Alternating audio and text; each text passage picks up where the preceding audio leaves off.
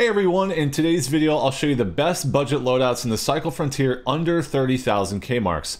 When you're looking to spend a little extra but not trying to break the bank, these are the loadouts you're looking for. With this video I'll show a couple different options to choose from depending on your playstyle, and all of these builds will use crafted armor from the printing station. If you're new to the game and not sure how to get the materials for all these items, don't worry, I got you covered. I've got videos up on the channel on how to farm for everything and the links will be in the description below. Okay, let's dive right into it, starting with the Bulldog Sniper loadout. This build does a great job of making you very effective at close range and long range. Medium range can be still managed very nicely if you can hit your sniper shots or maneuver and close the distance for shotgun range. Okay, so first off, we have the Bulldog, which you can buy from the ICA vendor, and this gun cannot take any attachments. That's the way it's built, so 6400 for that. And then we've got the C32 bolt action from the general vendor at 3800, and I like to put a 2X on this, obviously, for uh, 2500. Now you can fully kit out the sniper with all white attachments, but for me personally, I just use the 2X. I find that specifically in the case of the sniper that the remaining white attachments don't provide as much value as they do on an assault rifle. But again, feel free to kit it out if you like. Next, we've got the strong stims. Obviously, definitely want to take those in. Every stack of five strong stims at the printing station costs 900, including the skip, so make sure you're doing that twice.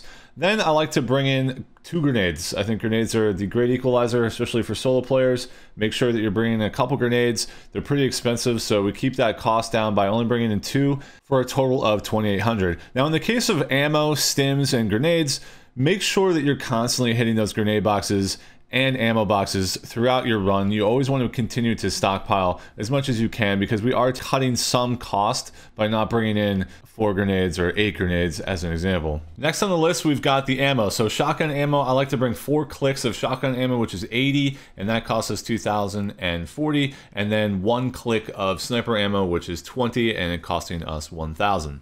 Lastly, we've got the armor package. So we've got green across the board for the bag, the helmet, and the shield. The cost on the green gear is not bad at all, but it does get pricey if you start to skip them at the crafting station. So in order to keep us on budget, you're going to want to make sure that you're crafting these ahead of time or right before you drop into raids to keep the cost down. Now that's it. That's the build in total, and it'll cost you 29,340 K marks. Next up, we have a couple AR builds, but before we jump into those, I want to quickly take a look at the basic white attachment package that you'll be putting on both. This package focuses on the recoil attachments along with ADS speed and reload speed. Now, depending on which sight you go with, will alter your overall cost. So I personally have gone back and forth on which I think is better. I've done iron sights, red dot, holographic 2x, but in the end, just go with your favorite. For me these days, I really feel like the, the red dot and the holographic have significantly less visual recoil, so that's my go-to for these days. In the examples that we're going to use, we will be running a red dot. So first up, we've got the trusty Manticore loadout. This gun is still so solid from close range and medium range, and it remains incredibly versatile against players and creatures. So this build is extremely similar to the previous one with the Bulldog Sniper, only difference is the ammo, and we're not taking a secondary, which gives us more leeway on the price, coming in at 25,580. With that extra value under 30,000, you can add a couple more grenades, you can add some extra ammo if you like. Last up, if you're looking to spend a little bit more than 30,000, you can make a nice loadout centered more on PvP.